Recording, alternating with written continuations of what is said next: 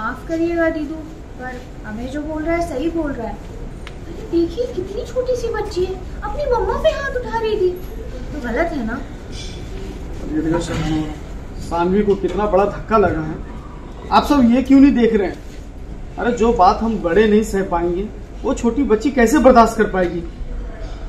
दीदू इस घर की मर्यादा को ना सानवी को समझना हो दीदू हम सब बस इतना चाहते हैं कि घर की मर्यादा को सानवी समझे और अभी जो किया ना ये दोबारा ना करे। और ये शर्मा बोला।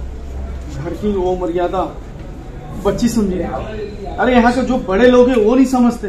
है ना कीर्ति? और एक सच सानवी अभय और हमारी बेटी है। जो आज इस घर में कुछ लोग मानने को तैयार नहीं है बेटा खड़ी है खड़ी है। उसका क्या है? किस किस को मैं समझाऊं? अरे इतनी बड़ी बात सानवी को पता चला है। तो उसे और समझाने की वजह उसकी तकलीफ़ समझने की वजह हम उस पर इल्ज़ाम लगा रहे हैं। अरे और रही बात मर्यादा की।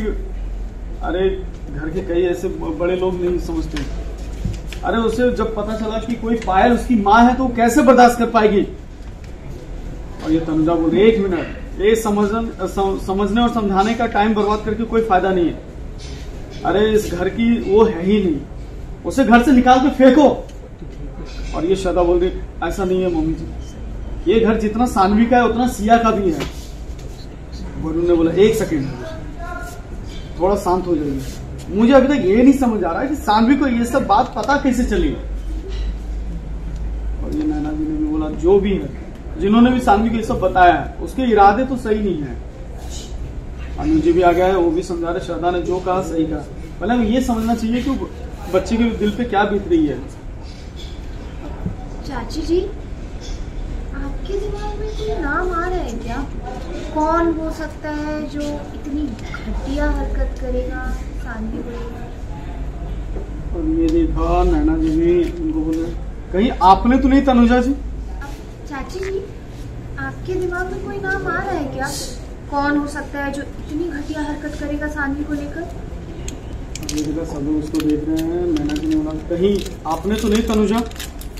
अरे तो अरे इतना खटकती है ना वो छोटी बच्ची आपकी आँखों में? भाभी मना करने के बाद भी आपने उससे सब कुछ बता दिया। तनुजा कुछ बोलने जा रही तब तक अनुज जी ने भी बोला छी शर्म आनी चाहिए।